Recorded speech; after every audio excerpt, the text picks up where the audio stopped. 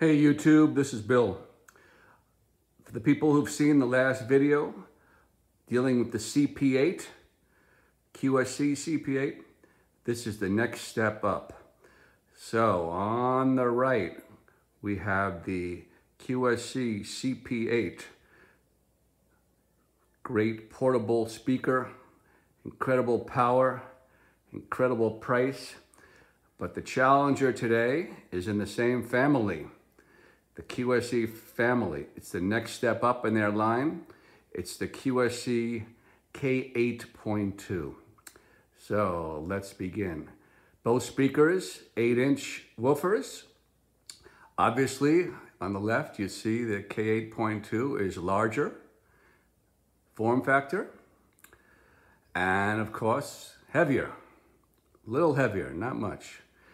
And then we have price. Price goes up again. Normally in any company's line, as the speakers get better, the price jumps up accordingly. Again, the price isn't a huge jump up, but for some people, it'll be a factor. Okay, just back to rewind, give you a little background. Uh, I'm doing a lot of videos, if you wanna go back and check some of them, about portable PAs. So I started this journey with uh, the Bose S1 Pro, a single S1 Pro, super lightweight speaker. Then I went to a second S1 Pro, stereo, wireless, and then I added a sub one. So that's, that's a system in itself. Again, those systems, that system in is great for small get-togethers, barbecues, small weddings, but this is the next step up. This is more of a, QSC is more of a professional line uh, than Bose, unless you go to the, the Bose, uh, the high, the higher line, the Pro, Pro series. That's, and you can check out those videos. So QSC, uh, you're gonna get a lot more power, quite a bit more power, at least four times the power of an S1 Pro. So that's why I say this is the next step up if you need it. Unfortunately, you lose your battery power going this route and you lose Bluetooth. But again, professionals, gigging professionals, really do not uh, need battery power. They prefer AC and they definitely don't prefer Bluetooth. Bluetooth is all kinds of uh, disconnects and interference with, with customers. So they hardwire, they go through a mixer. So that's not really an issue. So if you need the next step up, you're, you got playing to a larger audience, this is my recommendation. Also, musicians. Musicians, uh, live musicians, unless you're playing to a very small uh, acoustic set, they would step up from the S1 Pro to the QSC line. So here we have the speakers turned around.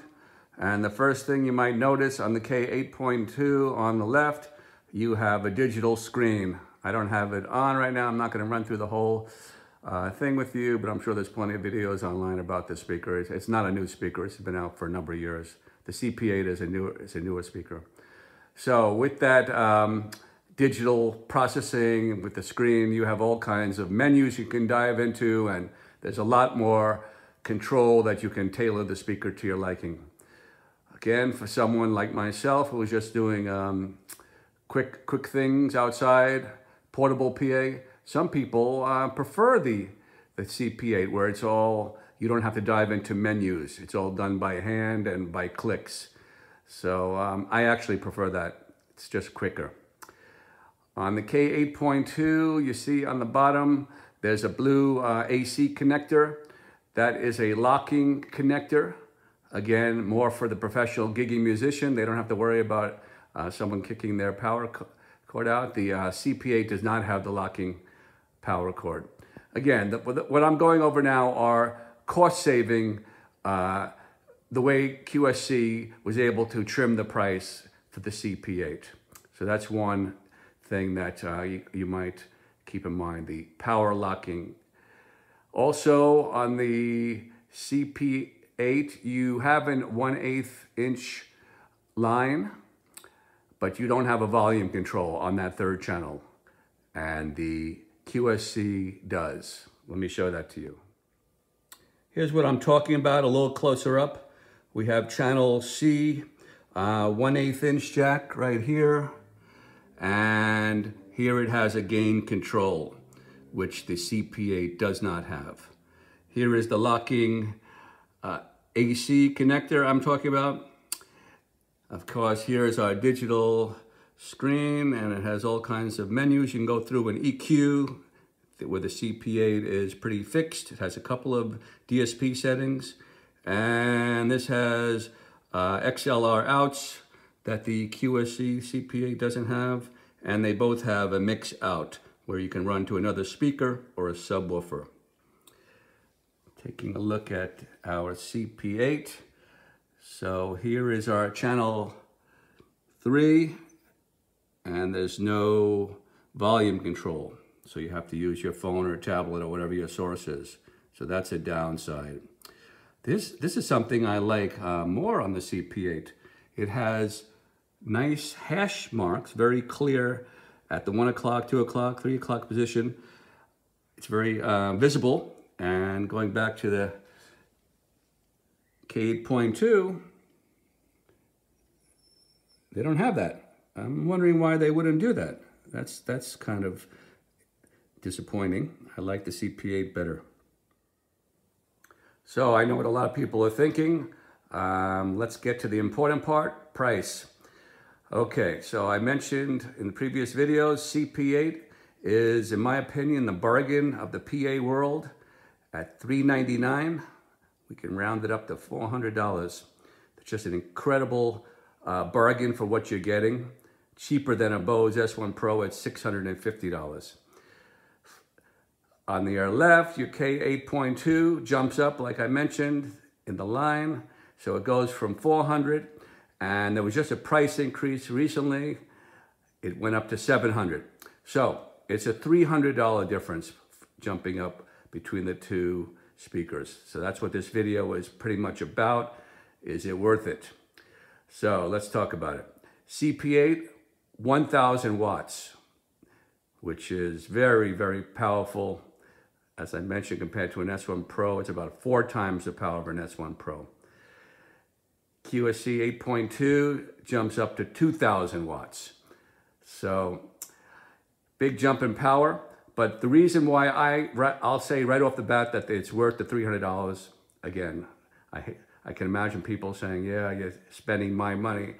But for my, my own reasoning, it's worth the extra $300 for one reason that stands out and that is when you crank it up, when you get to your maximum volume, especially outdoors or in a live band situation, the CP8 will start sounding harsh, a little brittle at its limit, where the K8.2 has that much more headroom. It just keeps going on and on, couple of rungs ahead of the CP8. And to me, that's, that's worth the extra money, especially in a live situation where you need that extra power as a drummer also, I've run into a situation, I play electronic Roland drums and those, those drum pads and those pads, they need, um, they need some kind of preamp in front of it.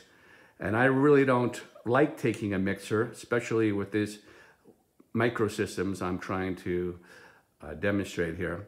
So I plugged in my Roland drum pad into the CP8. It, it was good but it just didn't have the, the power I would need in a live situation. On the other hand, the K8.2 has a high Z setting, and that made all the difference in the world. I would, I would say double or triple. So when you hit that snare drum sound, the crack of a snare drum, it was good on the CP8, but on the K8.2, it was three times the quality. So if you run into that kind of situation, I don't know what instruments that uh, that might need a preamp like like electronic drums, but of course the high Z is also for electric guitar. So to me, th that alone uh, is worth the $300 right there. This is what I'm talking about right here on gain B, channel B. Uh, you have a high Z line. And again, you set that in the from the digital menu. incredible difference in power. The CP8 does have uh, very good DSP choices. So what I'm talking about is right here. Uh, they have default setting. I have mine at default exterior sub, external sub because I'm using a subwoofer with it. Dance, dance with external sub, floor monitor, and speech. So the K8 point can do all of that uh, on their menus again, but you have to go through the screen, which is in, in my book a little slower. But usually people set it one time for what they like, and, and that's pretty much it. Again, because the CP8 is a uh, bargain price unit, you don't have any EQ settings. You don't have bass, treble, mids, nothing. Where the K8.2 has an extensive EQ section. Again, through menus, it's not um, through a dial I know on the old QSC line, they used to have um, a switch where you can just do a bass boost or a vocal boost. They've done away with that, unfortunately. So with that increase of power, 2000 watts, K8.2 compared to 1000 watts, uh, what you, the important number you want to look at is max dB. So the CP8 is maxed out at 124 dB and the K8.2 goes up to 128 dB. So 4 dB is not huge, but like I mentioned, when you turn it up loud, getting close to its maximum, that's when the, the K8.2 stays clear. Another difference is coverage. The CP8 is 90 degrees coverage, and the K8.2 jumps up to 105 degrees. Again, every little bit helps in a live situation. The CP8 is, has a fixed low, low cut at 80 Hertz, where the K8.2 has choices again through the digital menu. You can set it at 80, 100, or 125. Again, more, more choices for geared toward professional musicians. I talked about the locking power. I talked about the high Z on the K8.2. Uh, one thing I didn't mention is on the front of the CP8, again, cost-cutting measure to keep it at $400. There's no power indicator. The K8.2 has a power indicator. I kind of like that. From a distance, I like to know my equipment is on before I start. And if I don't have a power indicator, I kind of find myself wandering to the back to see the green lights. So that's another factor. K8.2 has a, um, a dual mount on the bottom. I'll show that to you where you can tilt the speaker. CP8 does not have that. And the K8.2 is fan cooled. Again, the fan is very good. You don't hear it. But again, for, for uh, a gigging musician who's playing for a number of hours, that fan uh, will give your speaker greater longevity. In the back here, uh, we have these heat fins, and the back does get slightly hot to the touch, but again, that's dealing with the cooling for the 2000 watts. When you go over to the CP8, you don't have any of the cooling fans, fins, sorry. With the size difference, you do have a slight weight increase. So the CP8 is 21 pounds, very manageable. And then when you jump up to the K8.2, it's 27 pounds. So again, not a big deal for myself, but for some people, that extra six pounds might be a deal breaker, especially at the end of the night and you're not only carrying one speaker, you're carrying all your gear. It, it, it's definitely um, feels a little heavier hoisting it up onto a pole. Here's a nice comparison chart I found online. So here on top, you have your price difference, $3.99 compared to $6.99. Then we go down here to 1,000 watts CP8, 2,000 watts for the K8.2. On the left, there's your figure for max SPL DB 124 dB for the CP8. K8.2 is 128 dB, 4 dB greater. And um, what I've read is when you get to 6 dB greater, the ear perceives twice the volume. So 4 dB um, between the two units is, is a difference. Not huge though.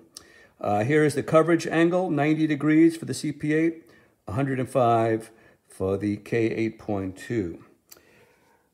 Going down here, you see crossovers. It says for the CP8 not specified. I'm going to tell you right now, it's fixed at 80. And for the K8.2, you have your choices there, 80, 100, or 125, depending on your top. And then at the bottom here, parametric EQ, CP8 says none. That is definitely um, not good. I like to be able to EQ my speaker. And then on the C K8.2, you have quite a bit of control going into the menu. Of course, um, you can always use, most people with this type of speaker are using a mixer anyhow. So you don't necessarily have to do your EQing on the speaker itself. And the last difference on the bottom, 21 pounds for the CP8 and 27 pounds K8.2, six pounds greater. Here's the bottom of your K8.2 and you notice it has two different pole mounting options and one of them uh, gives you a certain number of degrees tilt downward. Again, the CP8 does not have that. Here, are the K8.2 in the downward tilt position.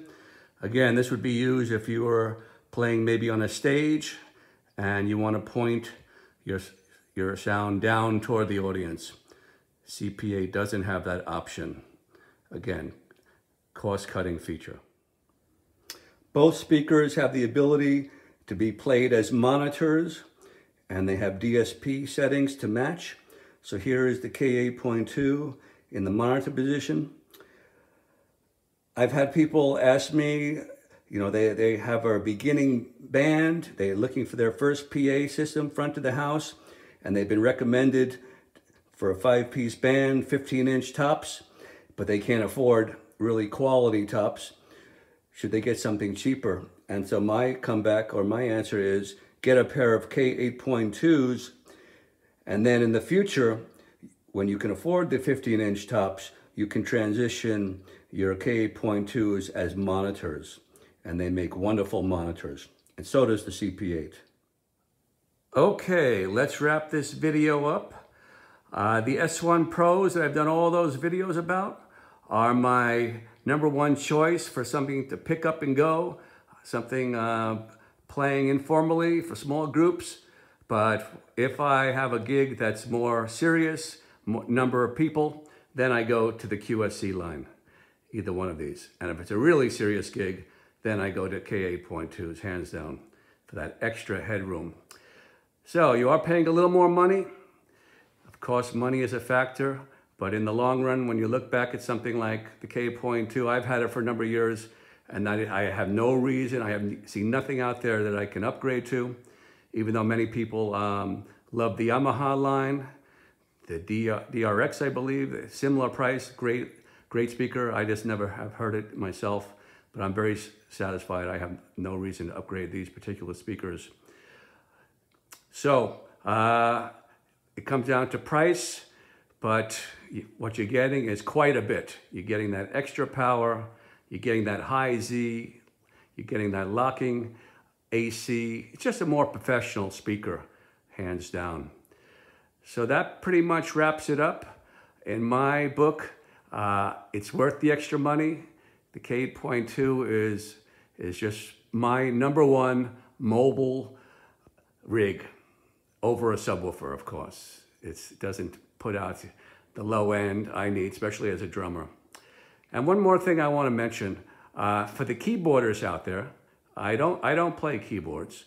There's a, a site called the Nord, Nord uh, keyboard line forum, and there's a guy named Cefalis, and he put it, he's a professional musician, keyboardist, and he has all kinds of gear, twice as much as I have.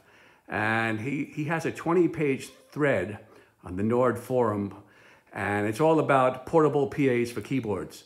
And he goes on and on. He's go, he tells you about all the different uh, keyboard PAs that he's gone through.